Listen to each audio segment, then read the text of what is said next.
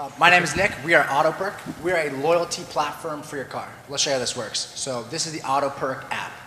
When you click in here, we are using the Carvoyant API to pull real-time data about your car. What you can see here, this is the dashboard from a consumer. They can see all kind of uh, diagnostics about it. When an error comes in, it's a notification. As soon as you click yes, we then prompt the user to have a solution to act on that right away.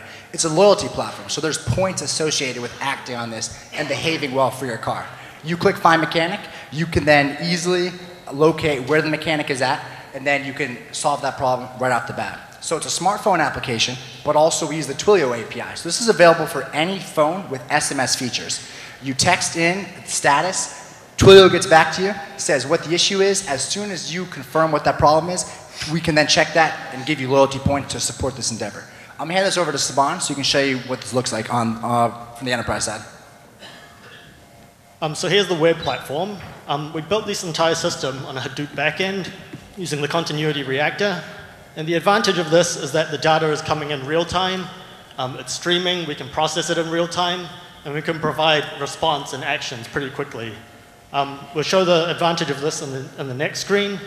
Um, but also another thing is that the data is persisted and it's all in a distributed system. And I'll hand it over to Rohit. So we think that there's a lot of value to this data, uh, not only to customers but also uh, providers as well.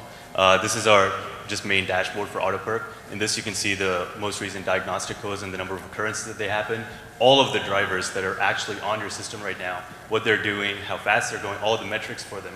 And uh, the anomaly detector actually tells you um, if there's a problem or if there's any sort of a risk signal with one of the drivers. So there's an Audi A3 there. So if you click on that, it'll actually take you to the screen.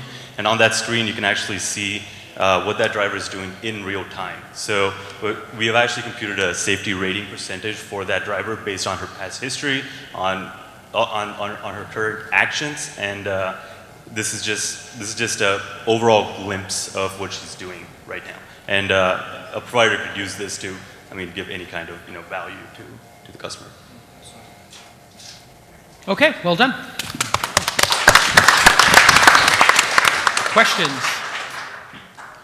So who are you going to target as the initial customer? Is it going to be fleets? Is it going to be individuals? Is it going to be parents with teenagers? Like, I, so it would be a B2B to C play essentially. So we could work with Allstate, Geico, someone in that space. They have a platform now to incentivize better consumer behavior around their cars.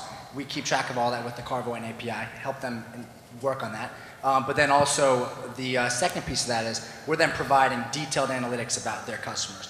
Richer data about how their customers uh, address issues with their car, um, but also we've got, we can use this as a great opportunity for algorithms to predict what type of issues that a driver will face based off their past behavior uh, addressing that.